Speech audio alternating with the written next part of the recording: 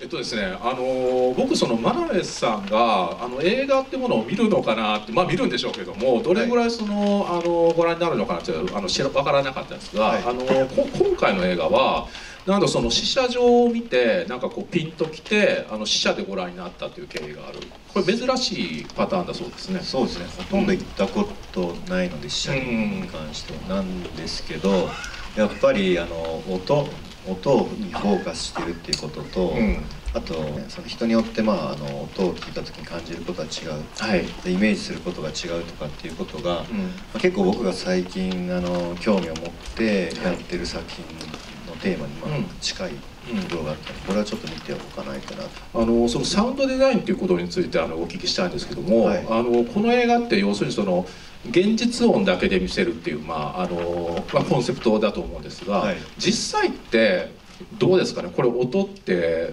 盛られてたりします？あのいじられてたりしますか？この映画ご覧になって。でもあの結構強調されてるなと思ったのは、はい、あの主人公が喋ってない時の,、あの部屋の背景でなってる、その機械音みたいなところ、うん、おーってなっているのが、まあ、結構低音だけで出ていて例えば家だと冷蔵庫から鳴ってたりとか、パソコンのファンの音みたいな感じだと思うんですけど、まあ、それは持ってるなと思います持ってるっていうか、まあ、あの結構強調してあるなと思って、であの会話が始まると、まあ、それはあの、全部カットされるので、ね、結構シーンチェンジした感じになってるなっていう。もう完全に耳でシーンチェンジだっていう、そうそうですねでまあななんですか？ねそういうカクテルパーティー効果ってよく言われます、はい、言われますけどその自分が神経を集中したあのパートに音をフォーカスするっていうその人間持ってる機能を音響の設計でかなりうまく作ってるなと思って。なるほどなるほど。だからやっぱそのえいい映画っていうか僕がすごい面白いなと思う映画って、はい、途中の段階は本当いろんな解釈があって、うん、まあ、いろんそれぞれがみんな違う解釈をしていて、うん、だけど最後はあのなんですかね納得するあそうですね。そのみんながまあ一つの、まあ、なんですか会社に向かっていくみたいなことだと思うんですけど、うん、だやっぱこれは本当音だけでそれをやっているので、うん、結構音だけでその複数の解釈を持たせるっていうことが、うん、あのまあもちろんできるんですけど、うん、でできすぎるというか自由度が高すぎるのでああなるほどね、そこは難しいからあのチャレンジにはなるだろうなっていうか、うん、すごいチャレンジだなと思ったんですけど僕2回しか見てないですけどもう1回ぐらい、見ても多分また新たな発見があるのかなっていう気がします。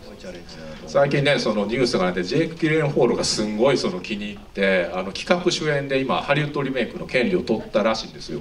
だこのハリウッド映画になってこのデンマーク映画があのどういう感じになるのかっていうのはすごいその逆にハードルが高いなっていう気がするんですけどね、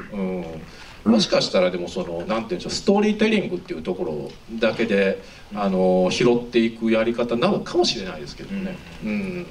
真鍋さんはその、まあ、映像っていうその分野をやられていますが、でもあの何て言いますかその人間の身体とか、まあ、知覚なりや感覚のちょあの拡張させる方向といいますか、はい、その意味ではその五感をフルに使うっていうことをいつも試みられてるっていうあの印象があるんですけども、はい、そのあの関心領域とこの映画の在り方というのはやっぱ重なる部分があるっていう感じですか？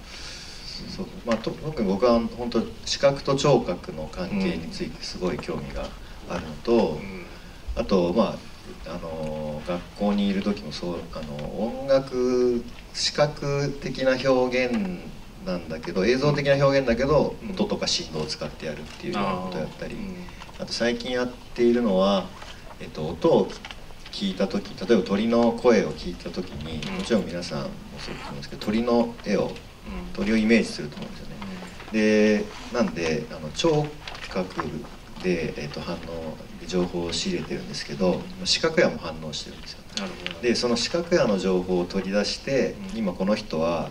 鳥の声を聞いた時にどんなイメージを頭の中で妄想してたかみたいなことを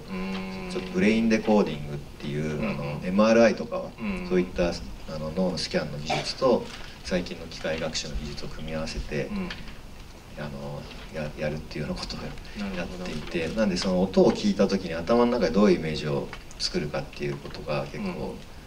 の興味の対象としてもあって。なるほどね。例えば僕がこうやって今頭の中で「プラス」っていう文字を想像したらもう取り出せるところまでは来てるので、ああの見なくても視覚野菜活動していれば取れ取り出せる。みたいなえーね念写みたいなことが現代は年謝だってその上谷先生言ってましたけど